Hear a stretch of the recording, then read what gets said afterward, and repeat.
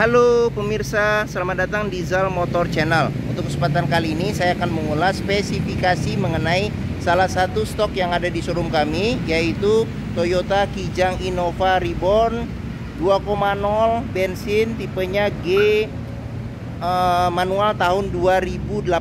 Ini tampilan sekilas ya dari luar, tadi dari sisi sebelah kiri, bagian depan serta kanan. Sekarang kita lanjut, kita lihat apa saja yang ada di Kijang Innova Reborn ini. Untuk lampunya ini dia sudah kristal reflektor ya. Kristal reflektor di sini ada lampu uh, besar, lampu dim, ini lampu kecil, serta di bagian bawah sini ada lampu sen, serta di sini ada fog lamp. Terus di bagian grillnya sendiri di sini ada chrome ya, lambang-lambang Toyota yang besar. Sini kisi-kisi buat pendinginan pada mesin. Terus di bagian sini sama lampu, di sini lampu besar, lampu dim, uh, lampu kecil, di sini lampu sen serta di sini lampu fog lamp. Untuk semprotan air wipernya sendiri ini dia nyempil ya di bagian sini. Terus untuk wiper bagian depan ada dua. Oke, sekarang kita ke bagian fender samping. Fender samping ini ada tulisan mesinnya dia sudah dual VVTi.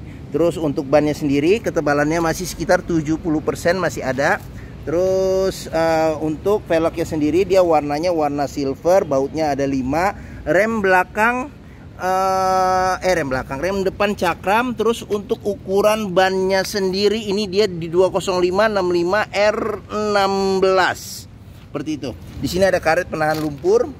Terus di bagian sini uh, ada talang air tambahan talang air spion sewarna dengan body ada sennya dia sudah elektrik tapi belum retract.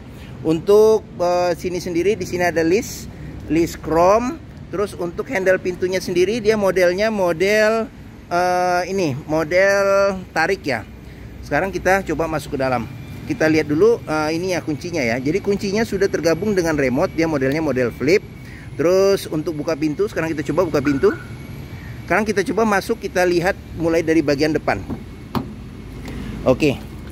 Uh, untuk uh, interior sendiri dia kombinasi antara warna hitam dengan warna coklat ya. Jadi warna coklat Terus di sini bahannya bahan bludru ya, kondisi juga masih oke. Okay.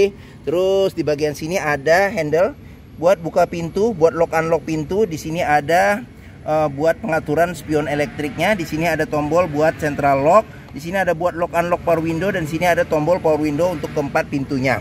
Di sini ada handle tangan jika kita mau tarik atau dorong pintu. Di sini ada kisi-kisi speaker serta di sini ada cup holder sama ada tempat penyimpanan terbuka. Di sini ada reflektor uh, terus uh, jangan lupa juga kita periksa juga di masing-masing pinggir pintu dia ada sealer juga ya. Kita periksa sealer kondisinya bagaimana masih oke okay atau tidak. Karena apa? Karena apabila pintu sealernya sudah cacat atau rusak berarti ada indikasi pintu sudah reparasi. Dan apabila sealer pintu ini tidak ada sealer pintu tidak ada berarti ada indikasi pintu sudah gantian. Oke ini tampilan dashboard. Nanti satu persatu juga akan kita lihat ya nanti di video ini. Jadi jangan di skip Terus sekarang kita mulai dari jok bagian depan. Jok depan ada dua, bagian supir dan penumpang. Terus bahannya ini dia bahannya bahan fabric ya, sama warnanya juga warna coklat. Terus uh, senderan kepala uh, bisa diatur secara terpisah ketinggiannya. Terus seatbelt tiga titik ada pengaturan ketinggiannya juga. Terus uh, untuk jok supir dia bisa reclining, naik turun serta di bagian sini bisa maju mundur. Terus uh, sekarang kita ke bagian bawah. Uh, Kita periksa juga. Pastikan bahwa tidak ada karat atau sisa selumpur Untuk memastikan mobil aman tidak bekas banjir. Ini pedal karena dia manual Pedal kopling, pedal rem, serta pedal gas. Dan dia di ada tambahan aksesoris ya eh, Ini apa uh, di pedalnya. Terus di bagian jok masing-masing uh, jok juga kita periksa. Pastikan bahwa tidak ada karat atau sisa selumpur Untuk memastikan mobil aman tidak bekas banjir. Oke di bagian sini ada tuas buat buka kap mesin, buat buka pengisian bensin. Di sini ada tombol buat aktif nonaktifkan sensor parkir belakang. Di sini ada cup holder. Dia uh, pas di kisi-kisi AC ya. Jadi kalau nyimpan minuman dingin, kesegarannya masih bisa bertahan lebih lama. Oke, sekarang kita coba uh, colokin aja kunci. Kita mau coba starter mobil ya. Oke. Ini cluster speedometernya hmm, biar nggak silau ya begini posisinya. Oke, sekarang kita coba nyalakan mobil. Oke, sekarang kita uh, kontak. Nah, ini posisi on tapi kita belum starter ya. Jadi kalau kita starter mobil uh, Kijang Innova Reborn ini jadi harus injek kopling, pastikan bahwa gigi posisi netral. Sekarang kita coba nyalakan mobil. Pada saat kita nyalakan mobil, pastikan bahwa nyalanya itu jreng. Kenapa? Kalau dia nyala tersendat berarti ada indikasi uh, akinya sudah soak atau dinamo starternya yang bermasalah. Terus di bagian sini ada uh, indikasi buat RPM RPM mesin di bagian bawah ada buat suhu mesin. Terus ini uh, jadi kalau kebuka nih akan nyala. Terus kalau kita pencet uh, tombol display di ini nah kilometernya di 97.000 nah ini buat suhu luar. Terus di bagian sini ada petunjuk buat kilometer mobil di sini ada petunjuk ya, bensin Terus seat belt supir tidak pakai dia akan nyala. Terus di sini ada ya, ini panah kecil di sini. Jadi pengisian bensin ada sebelah kiri ya. Jadi dia panahnya ke arah kiri. Di sini ada buat ini uh, apa tombol-tombol buat trip. Terus di bagian sini ada buat pengaturan lampu ya, lampu besar, lampu kecil, uh, fog lamp, lampu dim, serta lampu sen. Di bagian sini ada pengaturan wiper dan air wiper depan dan belakang. Serta untuk setirnya sendiri ini kulit jeruknya juga masih bagus. Dia uh, soft touch ya. Jadi dia soft touch tapi dia bukan jahitan. Jadi kondisinya juga masih oke okay secara keseluruhan setirnya. Di sini ada kontrol buat audio serta di sini ada buat uh, teleponnya. Kalau kita sambungkan telepon kita ke uh, ini ke head unit. Oke okay, sudah dilengkapi dengan airbag lambang Toyota sini ada tombol display tadi kita buat ngeliat display di ini uh, MID nya speedometer Terus ini kisi-kisi AC. Kisi-kisi AC di bagian tengah di sini ada tombol lampu hazard, ada jam digital, audionya sudah ini uh, apa head unitnya sudah LCD TV, bisa radio FM eh, AM eh FM AM, bisa CD MP3, DVD juga bisa. Terus ini uh, colokan USB juga bisa nih, USB aux juga bisa nih kalau nggak salah. Ini bawaan standar Toyotanya. Terus di bagian sini ada pengaturan AC, di sini ada arah semburan angin AC, ventilasi luar dalam, di sini ada kecepatan angin AC, serta di sini ada suhu AC. Oke, kita ke bawah lagi. Di sini ada ini uh, oh ini buat oh ini posisi airbag lagi mati nih ya untuk bagian penumpang. Jadi bisa ada tombol juga buat onin ya. Kalau nggak salah di di dalam saya lupa deh di mana komentar aja nanti di sini ada eco mode sama ada power mode jadi buat uh, nyetir ekonomis dan buat nyetir yang agak uh, bisa lebih kenceng ya lebih ngebut. Di sini ada power outlet 12 volt terus di sini ada tempat penyimpanan ter uh, buka. Di sini ada tuas manualnya 5 kecepatan plus mundur. Terus di sini ada cup holder. Ini ada cup holder ada handle rem tangan di sini ada uh, apa uh, kunci seat belt. Di kunci seat belt juga di bagian dalam ini kita bisa periksa. Kalau ada karat atau sisa lumpur sebaiknya dihindarin karena apa? Karena ada indikasi mobil terkena banjir. Sini ada konsol box tengah yang besar tertutup. Terus di bagian sini ada airbag, di sini kisi-kisi AC, cup holder juga ada di sini nih. Nah, enak nih minuman dingin nyimpan di sini. Ini ada laci penyimpanan uh, tertutup. Di sini ada laci penyimpanan tertutup. Ini dia service record Toyota, buku servisnya masih ada, beberapa bon dan gantungannya juga masih disimpan. Cuman buku manualnya sudah hilang menurut yang punya mobil sebelumnya. Di bagian sini ada oh ini nih apa namanya nih? Agak gelap nih. Kisi-kisi speaker, cup holder sama tempat penyimpanan terbuka ini handle jika kita mau tarik atau dorong pintu sini tombol power window. Di sini uh, handle buat buka pintu sama di sini ada buat uh, lock unlock pintu. Di bagian atas ini ada handle tangan modelnya model retract sun visor bagian depan sebelah kiri ada cermin dan ada tutupnya. Terus di sini ada tempat kacamata sama ada lampu baca. Spion tengah bisa diatur level kesilauannya secara manual serta di sini ada tempat buat naruh uh, dokumen kecil serta ini nih apa kartu juga bisa nih kartu e-tol dan sebagainya. Sini ada uh, uh, apa namanya tuh kaca serta tutup. Oke. Bagian depan secara keseluruhan sudah kita periksa kita lihat uh, fungsi-fungsinya. Ini kita buka saja nih jendela. Sekarang kita lanjut ke bagian tengah dan belakang. Oke handle pintu warna body modelnya model tarik untuk uh, door trim sendiri bagian tengah dia hampir sama dengan bagian depan. Jadi sini bahannya juga bahan blue blue di sini ada handle tangan. Eh handle tangan handle buat buka pintu. Lock unlock pintu. Di sini tombol power window. Di sini ada pegangan. Jika kita mau tarik atau dorong pintu ada cup holder ada tempat penyimpanan terbuka ada kisi-kisi speaker. Sudah dilengkapi dengan child lock pengoperasiannya mudah dengan jari. Terus sealer pintu juga jangan lupa kita periksa pastikan bahwa kondisinya juga masih oke okay. di sini ada reflektor juga di sini oke okay. uh, eh, ini jok bagian tengah jadi dia kombinasi bagian sini warnanya hitam di sini warnanya coklat sama di sini hitam nih warnanya oke okay, sekarang kita periksa saja uh, jok baris tengah bisa duduk tiga penumpang dewasa ada tiga senderan kepala yang bisa diatur level ketinggiannya. Di sini ada lampu baca seatbelt tiga titik ada tiga. Terus habis itu dia bisa reclining sama bisa maju mundur. Pelipatan bangku bisa uh, 40% 60% dilipat ke depan. Untuk akses masuk juga bisa ya jadi dengan melipat bangku. Sekarang kita masuk saja kita mulai dari sini aja dulu deh. Di sini ada ini handle tangan model retract ada gantungan baju di sini ada kisi-kisi AC 2 di bagian tengah. Ini ada pengaturan AC double blowernya. Oke sekarang kita ke bagian sini. Di sini ada kantong penyimpanan. Terus habis itu ada tempat buat gantung barang maksimal 4 kilo. Sini ada tempat buat naruh. Nih handphone bisa kita berdiriin di sini. Ini ada power outlet juga nih 12 volt serta ada kantong penyimpanan serta di sini ada gantungan uh, maksimal 4 kilo. Oke sekarang kita ke bagian sini. Ada kisi-kisi speaker cup holder gelap ini ya. Cup holder tempat penyimpanan terbuka handle jika kita mau tarik atau dorong pintu tombol power window tuas buat buka pintu serta buat lock unlock pintu. Sini handle tangan sama ada gantungan baju. Modelnya retract. Sekarang kita ke bangku baris ketiga. Aduh kaki saya kejepit nih. Ntar coba. Ah ya dah. Oke.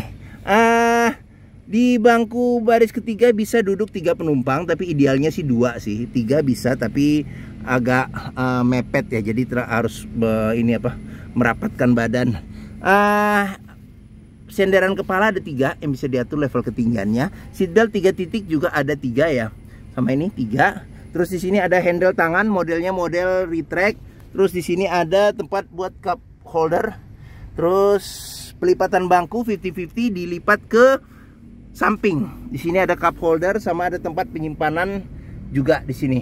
Oke. Okay. Uh, ini masih besar juga nih uh, apa legroom. Bisa kita lihat legroom juga masih lumayan. Jok baris ketiga juga bisa dimajuin eh kedua bisa dimajuin kalau kita space uh, kakinya kurang. Oke. Okay. Uh, ntar saya pindahin dulu sendal. Oke. Okay. Uh, legroom juga masih oke. Okay. Nih. Okay. Sekarang kita lanjut, kita sudah periksa bagian dalam uh, tengah dan belakang. Oke, untuk ban dia uh, ketebalannya masih sekitar 70%, ukuran velg sama ban sama di bagian belakang rem tromol. Di sini ada karet penahan lumpur. Sekarang kita ke bagian belakang. Bagian belakang sendiri ini ada antena shark fin, ada spoiler belakang, ada lampu rem, terus kaca belakang belum dilengkapi dengan defogger, cuman di sini ada wiper belakang, ada list chrome di sini. Uh, lampu kristal reflektor di sini ada lampu uh, besar lampu rem, di sini lampu sen, di sini lampu mundur. Nih Kijang 2,0 tipenya G ya. Nih Innova. Sini lambang Toyotanya, di sini sama lampunya kristal reflektor, lampu sen, lampu besar eh lampu senja, lampu rem, sini ada lampu mundur. Sudah dilengkapi dengan dua sensor parkir serta ada tambahan uh, ini tanduk di bagian belakang. Oke. Sekarang kita lihat saja bagasinya. Ini buat bukanya di sini ada tombol. Dia masih mekanis ya, jadi belum elektrik sih untuk uh, pintunya. Silar pintu bagian bagasi juga perlu kita periksa. Pastikan bahwa kondisinya juga masih oke. Tidak ada reparasi atau perbaikan untuk memastikan mobil aman tidak bekas nabrak belakang oke ini sealer-sealer juga kita cek kita periksa space bagasi masih oke okay, masih lumayan oke okay. di sini ada tempat buat naruh dongkrak dan kunci-kunci di sini ada segitiga nih ada segitiga terus di sini ada lampu bagasi Oke, di bagian bawah sini kosong, ban cadangan ada di bagian bawah dan dia juga tertutup. Nih, salah satu indikasi uh, mesin yang kompresinya masih bagus, dia masih mengeluarkan embun air dari ujung knalpot. Serta ada tetesan air ini adalah uh, embun AC dari uh, apa? Uh, ini AC double blowernya ya. Oke. Sekarang kita lanjut, pengisian bensin ada di sebelah kiri Terus ban dia 70% juga ketebalannya hampir rata nih semuanya. Ukuran velg sama ban sama. Terus uh, door trim kita cek juga kondisinya masih oke. Okay. Dilengkapi dengan child lock, sealer pintu juga kita periksa kondisinya juga masih oke. Okay. Ini tampilan bagian tengah serta tampilan bagian ini apa uh, belakang jok depan. Oke, sekarang masih dingin ini embun. Masih keluar embun. Oke. Uh, door trim kondisi juga masih oke okay. sealer pintu juga perlu kita periksa sealer pintu ini tampilan bagian depan serta di sini tampilan dashboard oke okay. Kita lanjut di sini ada list list chrome uh, spion uh, sen spion uh, spion warna body elektrik terus ban hampir rata 70% ketebalannya Oke. Sekarang kita ke bagian terakhir yaitu bagian mesin. Untuk buka kap mesin dia agak ke sini tuasnya nih agak ke kanan sedikit ya. Kanan sedikit terus kita dorong ke atas. Atas agak ke kiri. Kijang Innova Ribbon ini mengusung mesin 2000 cc 4 silinder dengan penggerak roda belakang.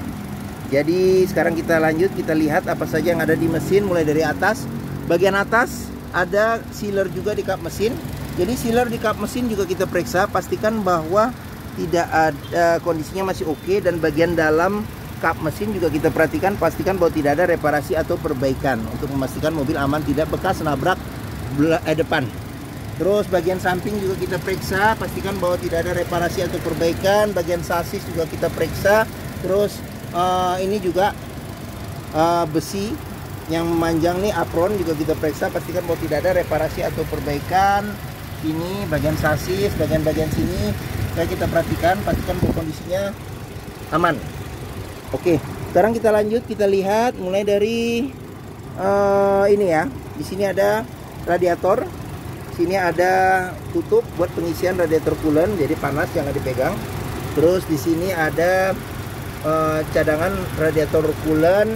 Terus di bagian sini ada pengisian buat air wiper. Di sini aki akinya aki ya. Di sini aki di sini ada kotak relay dan string terus habis itu di bagian sini ada buat pengisian minyak power steering. Terus uh, uh, apa apa namanya tuh kipasnya dia masih menyatu dengan perputaran mesin ya. Jadi dia bukan elektrik. Terus di bagian sini ada buat pengisian uh, oli mesin. Di sini ada uh, tarikan nih buat ngecek level oli mesin. Di sini ada uh, tempat buat ini uh, apa namanya tuh uh, ini.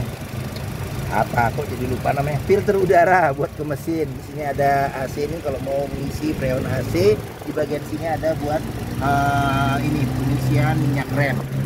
Oke? Okay? mungkin ini saja bagian mesin. Oke okay, secara keseluruhan sudah kita lihat uh, semua spesifikasi mobil yang ada di showroom diesel motor nih yaitu Kijang Innova Reborn 2.0 tipenya G manual tahun 2018 ini yang bensin ya. Apabila berminat silahkan hubungi Zal Motor nomor telepon alamat deskripsi mobil harga kami cantumkan di keterangan video ini pembeliannya bisa dengan cash bisa kredit bisa atau tuker tambah bisa ada rekan kami juga bisa melayani kredit dengan sistem syariah serta jangan lupa juga jika kita membeli mobil bekas pastikan kita bisa test drive. Karena apa? Karena dengan test drive kita bisa melihat dan merasakan kualitas mobil mulai dari rasa berkendaranya. Terus performa mesinnya juga bisa kita cek, kaki-kakinya masih oke okay atau tidak, power steeringnya, pengeremannya, terus uh, koplingnya masih enak, masih enteng atau tidak, perpindahan giginya masih halus atau tidak, bisa kita rasakan dengan kita test drive. Zal motor sendiri terletak di sini. Kita pas di sini pas di hook Stok kami ada sekitar 30 unit lebih sampai ke seberang sini. Terus Posisi kami ada di pusat otomotif Sentra Harapan di Harapan Indah Bekasi. Ini gerbang utama menuju Zal Motor juga mudah. Dari gerbang utama tinggal lurus ketemu bundaran, belok kiri sedikit ketemu Zal Motor pas di hook. Area parkir luas jadi kita bisa bebas puas untuk test drive mobil.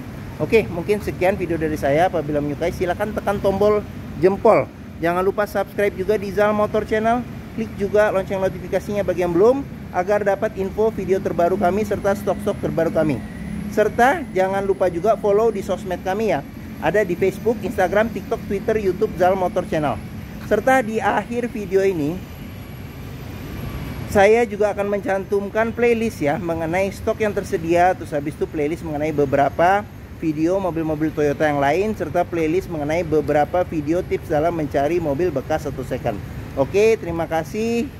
Semoga video ini bermanfaat. Jangan lupa komentarnya serta di-share juga ke keluarga, kerabat, saudara, teman-teman, siapa pun juga yang sedang mencari mobil bekas atau second. Terima kasih dan sampai jumpa lagi.